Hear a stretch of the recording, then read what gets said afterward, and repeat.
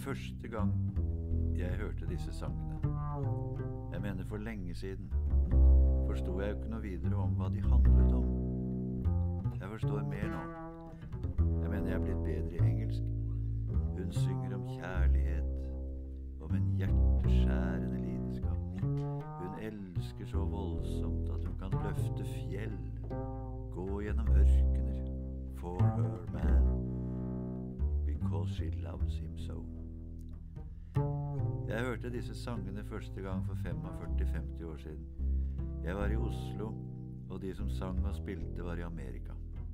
De er døde nå, alle sammen.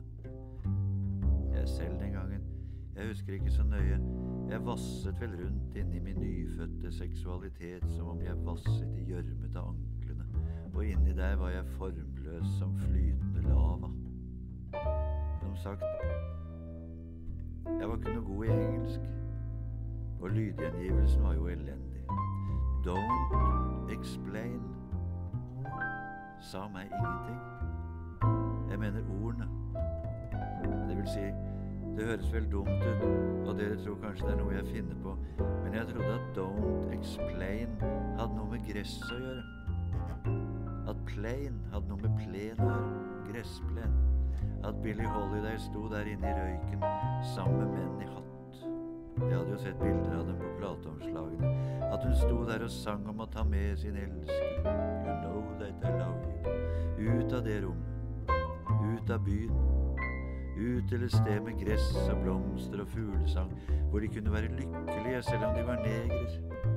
Til et sted i Midtvesten, kanskje, hvor det er snille gårdbrukere. Jeg hadde en masse onkler og gifte tanter i Midtvesten. Jeg hadde møtt brødrene og søstrene deres om sommeren i Aust-Agder, og det var snille folk. Jeg var sikker på at hvis Billy Holiday og Lester Young eller Ben Webster hadde stått utenfor på tunet hos dem, hadde de sagt Kom inn og få dere mat, even if you are niggers. Men som sagt, hva skulle vi forstå det for? Don't explain.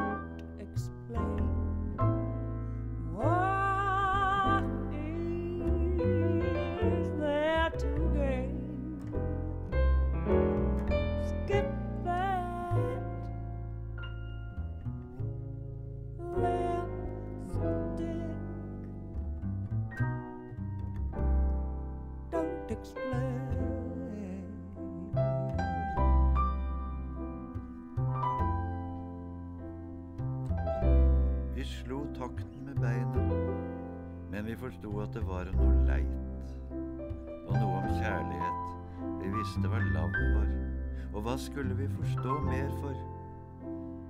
Don't explain.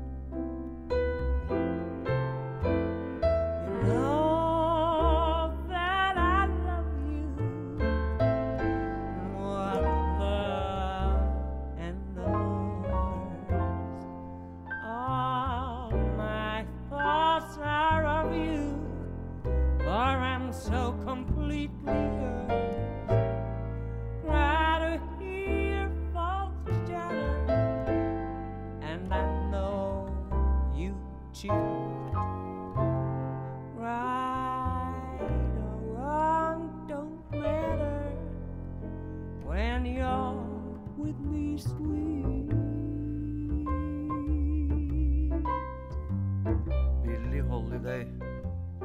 hørte jeg første gang i slutten av 1940-årene.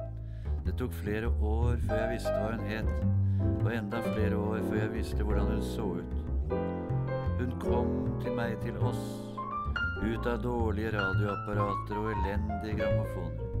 Stemmen hennes kom fra Amerika, flytende, trist og vakker og blå, som røyk, fløt stemmen hennes over meg ved Sankthanshaugen. Jeg visste ikke hvordan hun så ut.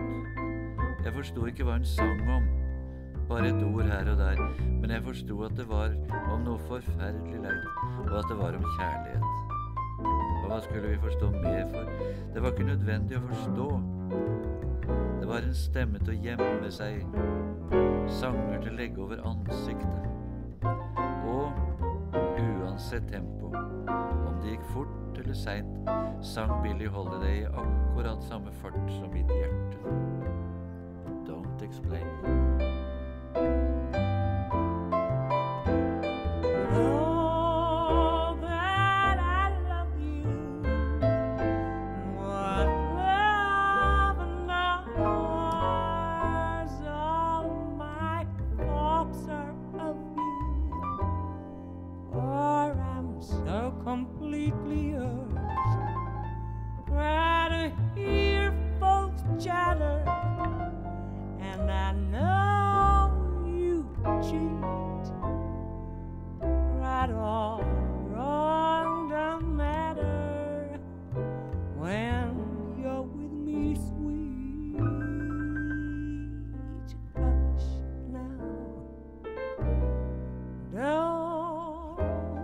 explain.